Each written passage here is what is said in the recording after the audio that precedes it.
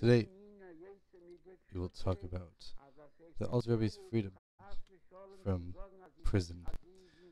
So basically, let's get right to it. Chapter 1 The Unseen Light. In the dimly lit cell, where the only light seeped through a narrow window, sat Rabbi Shneur Zalman of Liadi, known as the Alter Rebbe. His face, serene amid the gloom, reflected a quiet, unshakable strength. The walls, cold and unyielding, whispered of the many souls that had passed through, but the rabbi's spirit remained undaunted, a beacon of faith in the shadows. On this particular day, the air in the, shells, in the cell shifted, charged with an unseen energy, as if the very essence of creation itself was stirring. Two figures appeared, as if materialized from the ether.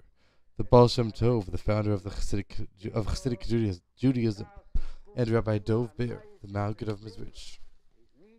They were not there in the flesh, but their presence was as real as the stone and iron that surrounded the rabbi.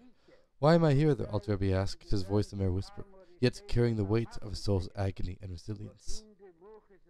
You have been imprisoned not for what you have done, but for what you represent. The Baal Shem Tov replied,